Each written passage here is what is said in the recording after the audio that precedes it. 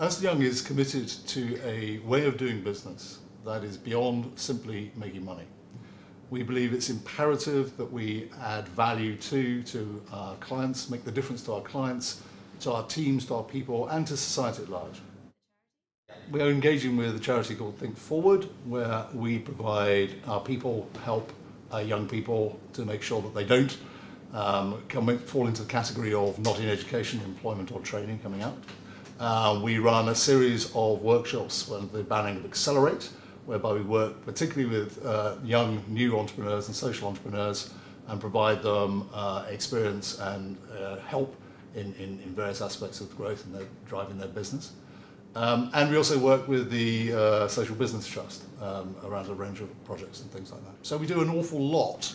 Um, our aim, however, is less to be engaged in these kind of additional singular programs and more to make it a way of business for the whole of our firm.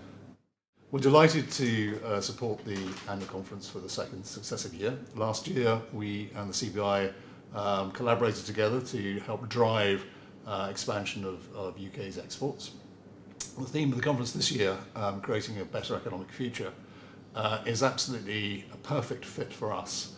Um, we work with a number of clients to kind of say how do they cope with the challenges of, of the current tough economic environment. Uh, and we're about to issue the next version of our Growing Beyond publication. Um, this emphasizes that there are companies that are thriving in these conditions uh, and there are growing differences which you can spot between the high performing companies and the, uh, those doing less well.